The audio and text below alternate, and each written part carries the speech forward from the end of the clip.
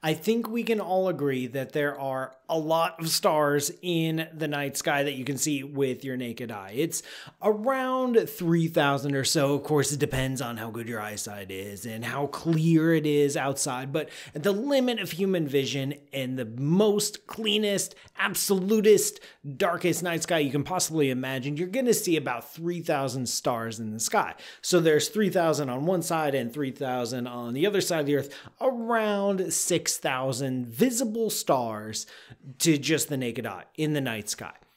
The furthest star we can possibly see is it's kind of hard to calculate because it depends on the person. Uh, some stars change their brightness with time. Do you count binaries or not binaries? Somewhere around five to 10,000 light years away is the very, very furthest star that we can see with the naked eye.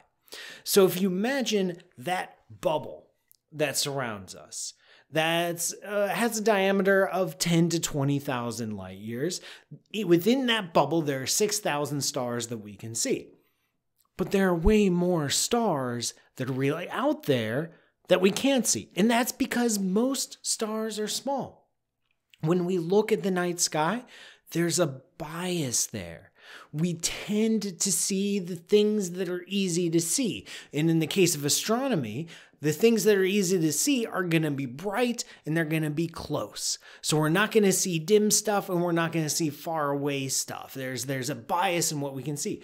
Check this out. In the same volume, in that same bubble that's 10 or 20,000 light years across that contains 6,000 stars that we can see, there are actually around 6 billion stars. That's billion with a B, like the true Carl Sagan, billions and billions and billions and billions and billions and billions, six billion stars in that same bubble. That's 10 to 20,000 light years across, six billion stars. We can only see 6,000 of them. And that's because almost all the stars in our galactic neighborhood, in our part of the Milky Way, are small and dim stars. I mean, Proxima Centauri. Proxima Centauri is the closest star to us. Four light years away, 3.8, whatever the number is, it's around four light years. Can't see it. You can't see it with a telescope. It's too, it's too small. It's too dim. We can't see it. And in fact, our own galaxy, our own Milky Way galaxy, in total is made up of about three quarters of these small stars three quarters so small stars. Now in our neighborhood, it's it's more small stars than normal. If you go to the galactic core, there's more big bright stars than average, and then all balances out, and it's about three quarters of these small stars. And what's interesting about these stars, well, there's a lot interesting about these stars. Don't get me wrong, is that these small stars are red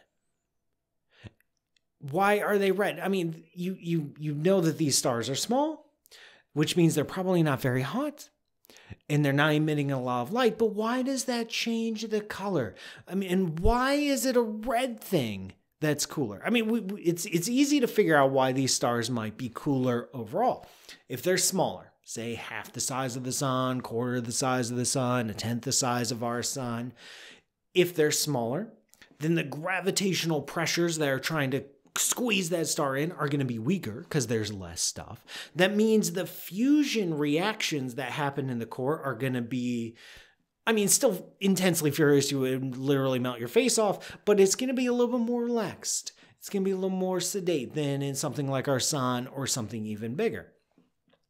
That means uh, less energy release because the fusion rate is far smaller, less energy release that makes it to the surface, and so there's just going to be less light emitted, like less than a percent. Even, I think even less than a tenth of percent of the amount of light emitted by our own sun, emitted by one of these typical uh, small dwarf stars. So it's obviously cooler, less luminous, less intense, but why red? The reason that they're red is because stars shine as almost perfect black bodies. Now, this jargon term, I gotta be honest with you, black bodies, black body radiation, you may have heard of it in a few contexts. It is. There are some jargon terms out there in astronomy and physics and all sciences that's like, I, can we just get like a do-over? We just name it something else? Because the name is not helpful. The name is not descriptive. The name does not help us know what the heck we're talking about. And there's a few of them I could go down the list, but it black body is probably at the top. Here's the idea. You take a box. It, it can be any box, it doesn't matter. And you paint the insides black so it's all perfectly absorbing, like it's all super black in there. And then you heat it up.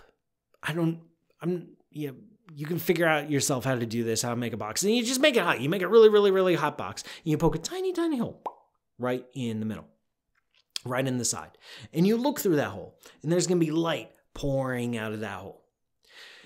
This roughly describes a set of experiments that were done in the late 1800s that were examining the connection between temperature and color.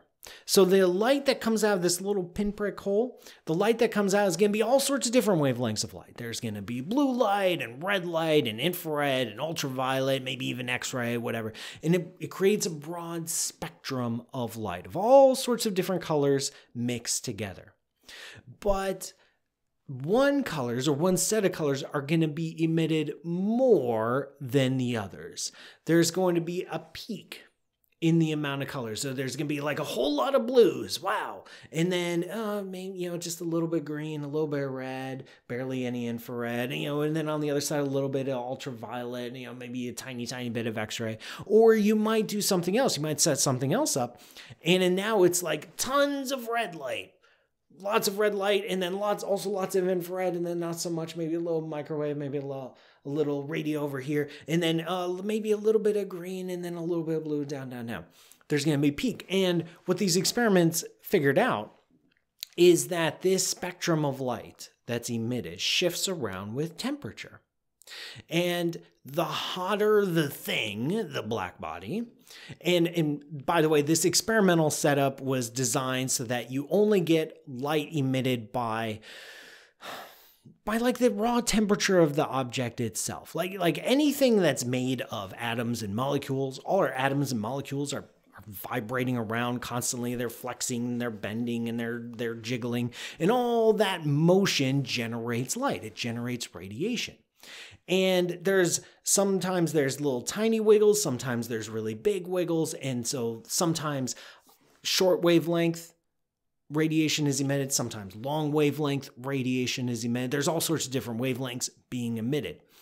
And what these experiments found these these black body tests where there's there's no like spectral emission you're, you're not getting weird you know stray light like it's all focused on just what is the connection between temperature and the color of light emitted these black body experiments confirmed that the hotter a thing is the more short wavelength light is emitted and short wavelength length is high energy stuff. That's the blues, that's the ultraviolets, that's the hard stuff. And if something's cooler, it's going to emit longer wavelength radiation. It's going to do reds and infrareds. If something's right in between, where it actually peaks in the green in the rainbow, that means you're getting equal amounts of blue over here, equal amounts of red, and it's going to shine white, be white hot.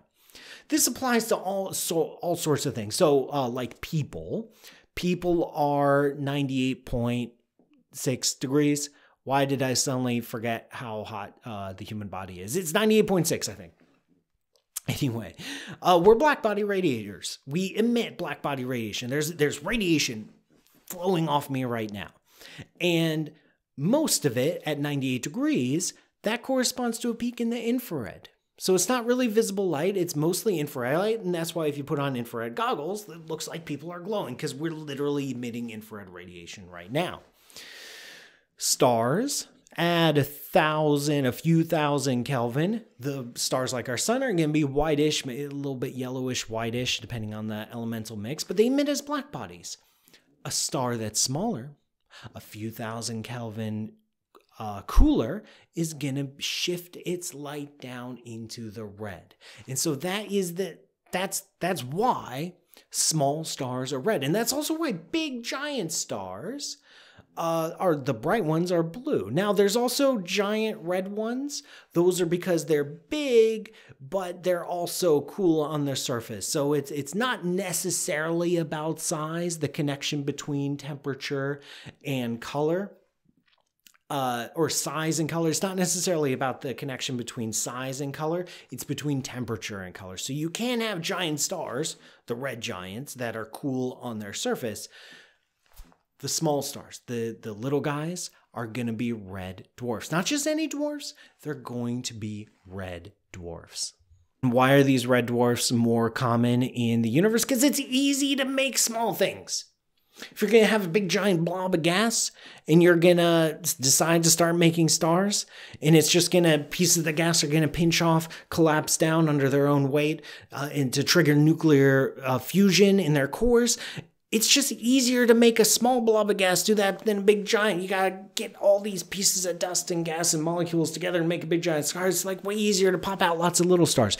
It's easier for the universe to manufacture little stars. So, red dwarf stars are the most common kind of star in the universe. It's a shame we can't see them because the night sky would look pretty intense. Thank you so much for watching. If you like this video, uh, hit like and then uh, feel free to comment, ask me questions. Go to patreon.com slash pmsutter. Subscribe if you want to. Uh, you're your own boss.